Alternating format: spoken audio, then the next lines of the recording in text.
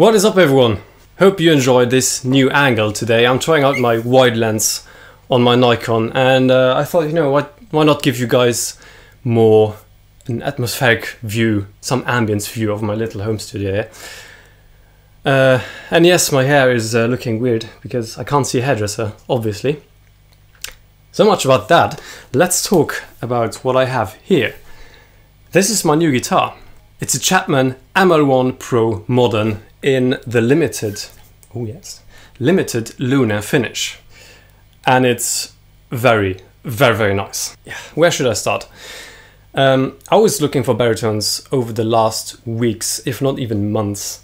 I obviously started with six string guitar, switched to seven, to eight, and I really like the the low the low stuff, you know. When I started to get influenced by Rabea Massaad over the last two or three years, I started to rediscover the six string for me, and I felt like I haven't really fully experienced the six string, and it's oh, you, will, probably never, but I felt I really needed some more digging into the six string world, and uh, yeah. However, what I was missing was that low stuff. It kind of switched in my mind and was like a baritone why haven't I thought sooner about a baritone? I was searching for PRS uh, 277s, used Ibanez RGI B6s, and then I came across the, the Chapmans, and I found this one on Thomann for 960 euros as a B stock.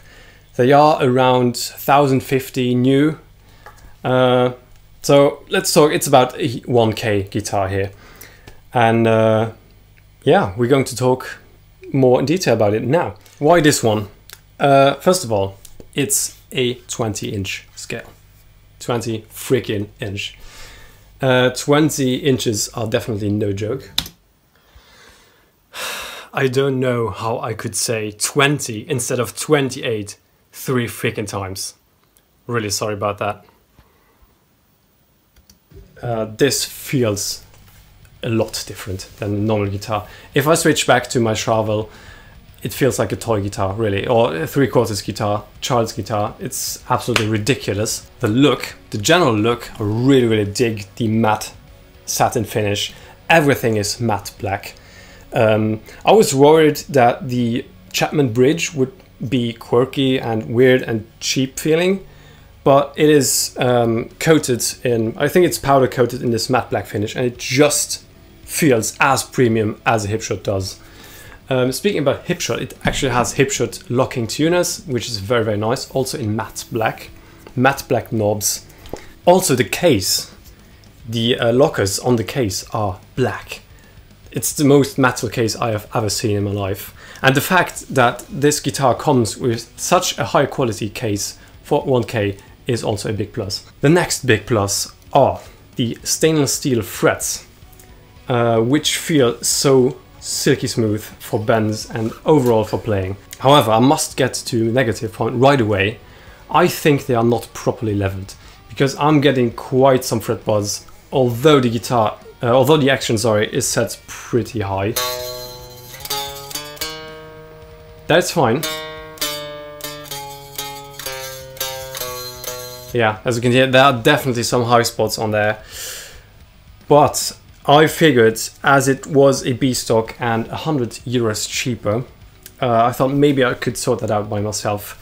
There are some blemishes as well there, uh, not too bad, and they are not, you know, in your way or something.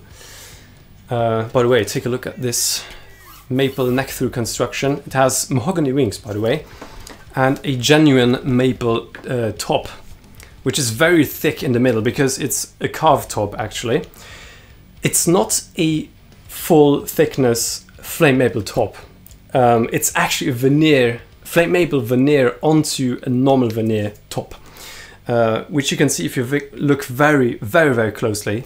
Um, but I mean, that's it's no big deal because the guitar is still just 1k uh, and not another 2,000, 2,500 euros where you could expect a completely full um, flame maple top. Let's talk a bit about the feeling.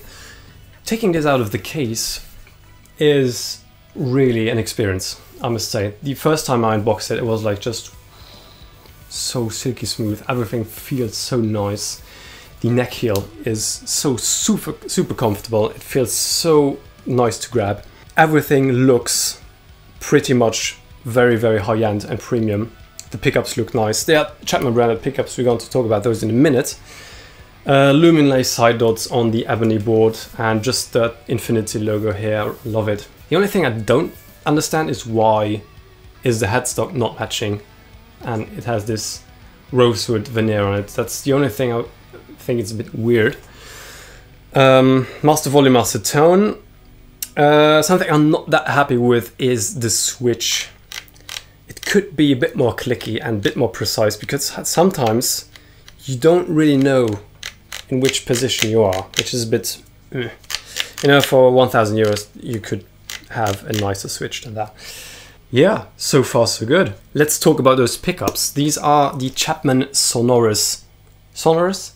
Sonorous pickups. And uh, usually most people are not a big fan of in-house or branded pickups from the brand itself. However, I must say, on this guitar, I would not change the pickups. They sound absolutely fantastic uh, both on uh, high gain and for clean as well. I mean, for for rhythm tones, this thing just slays the shit out of my amp. Uh, by the way, I'm using the PRS as always. Uh, this time, today I'm boosting it with the Klirrton Lichtbringer and the 805 Overdrive to really get the most ballsy tone I've ever achieved in combination with this guitar. It's just like...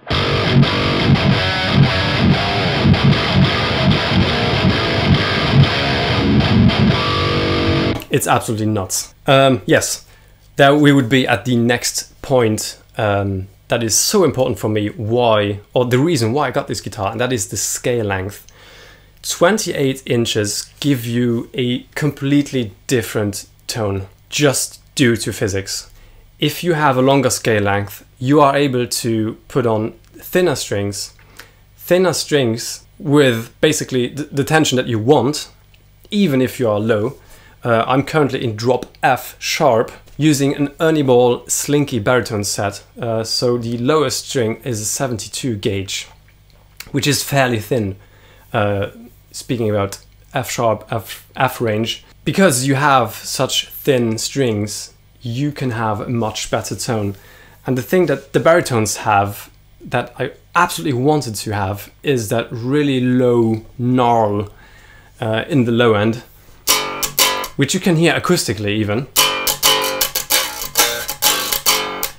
And that is just something that you can't get with a regular scale six string. It start the, the tone starts to show up with 26 and a half, 27 inch, but at 28 inch it is really, really apparent and just amazing.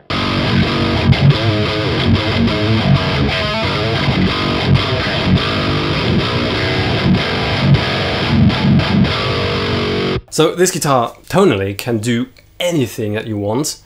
Um, if you are a fan of stuff like, I don't know, uh, Whitechapel, it can do that.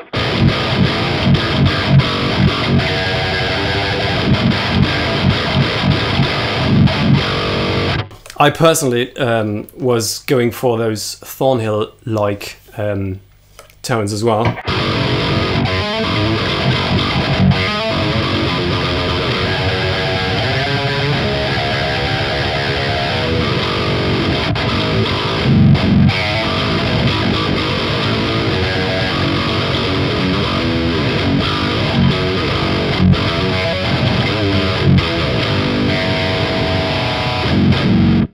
The next very positive point of the baritone is the clarity of chords. I mean, ju just listen to that.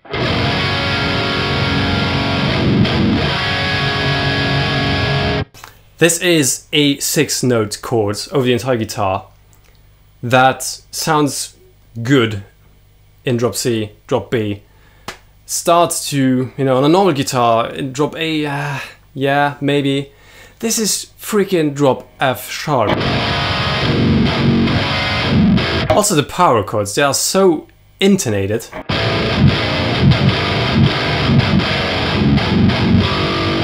And this is just the absolute biggest plus uh, of the baritone. And that's why I love this thing so much. I can't put it down. And I haven't played my other guitars uh, for two weeks now. Because this is just so good. Split coil tones, also absolute craziness.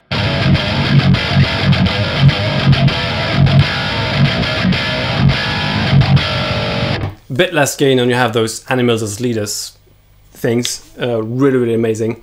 So let me just quickly switch to clean. Okay, we're on the clean channel of the uh, PRS with some reverb of the Fathom. And this is how it sounds like on the bridge split.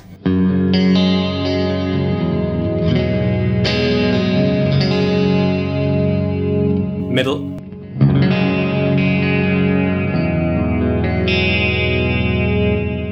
Next split.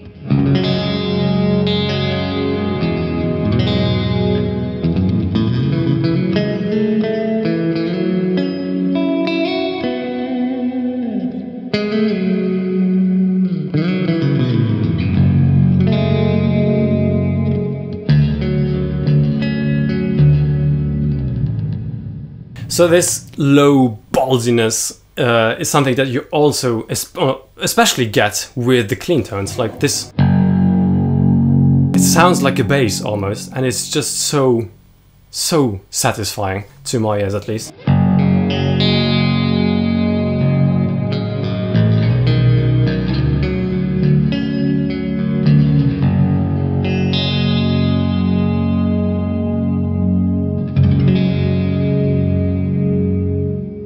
So yeah, very, very, very inspiring tone.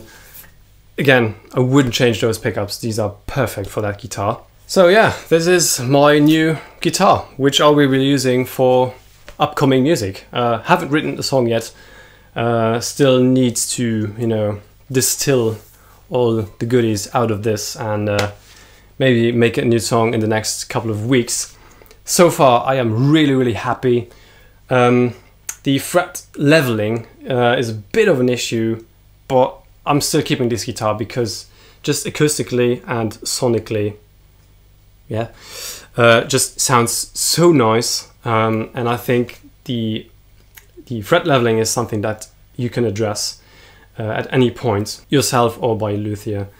But the guitar itself, how it feels, how it plays, and how I feel connected to it is worth keeping.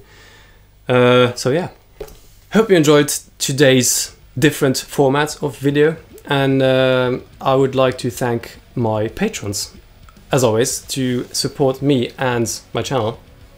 No, because they are supporting me and my channel. Yes, if you are interested in uh, some guitar tabs of my original songs by No Ostriches, feel free to head over to Patreon and uh, sign up for a little per video uh, subscription if you like to. Like and share the video, that will really help a lot.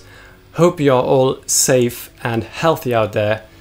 Uh, hope you can at least take a walk or something like that. Um, if not, then yeah, stay home and try to be productive. That really helps. Uh, let me know how you enjoyed this video format and uh, I will see you next time. Take care.